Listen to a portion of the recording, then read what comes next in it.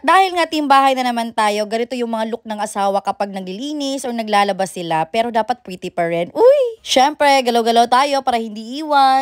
Ayun na nga mga kasana all, inabutan na ako ng hapon sa paglalaba. Ang dami kasing labahin. Hindi naman masyadong halata na mahilig ako sa PC products ano. At dahil nga umalis na si Mr. Sun, ay chance ko nang linisin at ayusin ang aking garden. Kasi pag inabutan na naman tayo ng gabi dito, naku babaha yung mga snail dito. At dahil nga wala akong gamit pang tanggal ng mga mahahabang damo, ay kinamay ko na lang. Dapat kasi talaga ay may babayaran kaming tao para maglinis dito. Eh, yun nga lang, lagi kaming umaalis. Ngayon nga lang nagtimbahay. At para hindi sayang yung pera, ako na nga nag-insist. Sure. Busy kasi talaga lahat ng mga tao dito dito, ako yung pahiga-higa lang. Charis. Hindi kasi talaga ako pwedeng mapagod ng sobra, guys. Kasi prone into binat ako and inalagaan ako ng asawa ko ng bongga. As long as kaya niya, inaako niya lahat. Kasi sabi niya, okay na siya yung gagawa ng lahat ng mga trabaho. Basta lang ay makapagpahinga ako. O di ba ganyan ba asawa niyo? Sana all. Siya na nga ang social media manager, siya pang packer, siya pang nagdi-deliver. At kung ano-ano pang mga lakad na lalabas ng bahay. Kasi talagang hindi na ako sumasama, guys. Dahil sa sobrang traffic ng Davao, parang gusto na din makilevel sa Manila. Maliit lang area ng aking aking garden pero nakakatulong to kapag babad kami sa cellphone dahil nga sa mga inquiries. Sobrang bonggad, sobrang nahahang na yung mga inbox namin ha. Pero as always, hindi kami magre-reklamo dahil blessings yan. Sabi nga ni mama ko, aside sa kalabasa na pampalinaw ng mata, kung prone into radiation ka or prone into gadget or ano-ano pa, dapat may mga halaman ka makikita na puro kulay green para ma-refresh yung paningin mo. At dahil nga confident tayo sa kuyukot natin na walang makulimlim na area, ayan, puro tuwad-tuwad tayo dyan.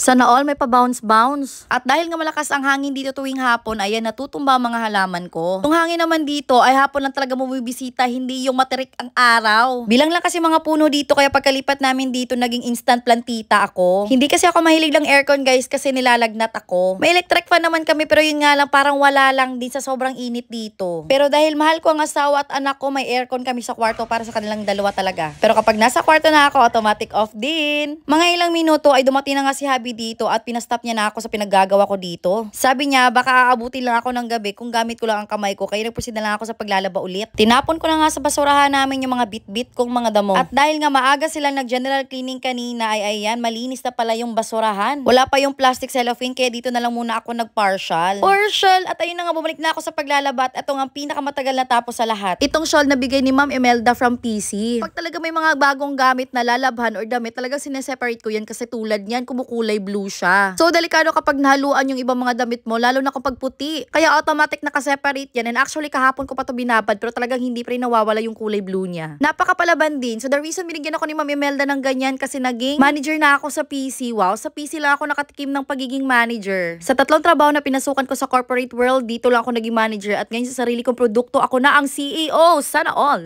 Oops! Bago matapos ang video ito, ayan, ipapakita ko lang yung huling videos ko na nag-trending na umabot ng 14 million views na naniligo ako gamit ang Wear Me products. Ito yung video at ang proof na umabot siya ng 14M. Mga product na tumulong sa paglighten and paglow ng aking skin. Unang-una si bleaching scrub, kaya lang sold out na February 2nd week pa siya available. Tapos yung mga product na yan. So, bale, aside pa doon is yung dalawang sabon na ginagamit ko at pinakita ko dito yung singit ko. Tingnan nyo. Tada! O sa mga maraming makulimlim sa katawan, eto na yung perfect product for you depende kung hiyang ka. Bikini line, kilikili, kuyukot, lahat-lahat na. Tingnan nyo yan. So naalala nyo na ba, sa lahat mga naubusan, sa lahat na paborito, ang dalawang sabon ko, Wear Me Bleaching Soap and Wear Me Glutamilk Soap with Oatmeal.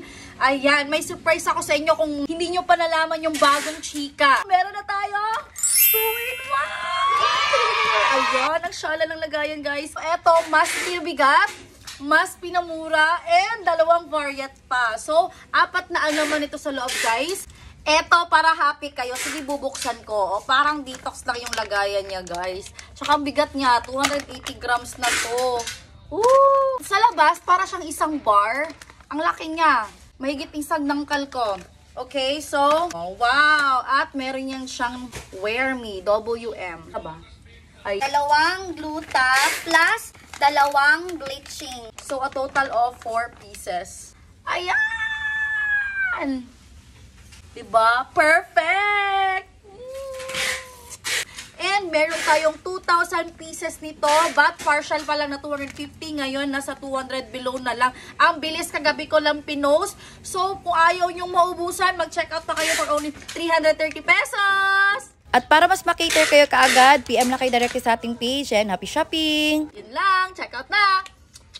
Bye!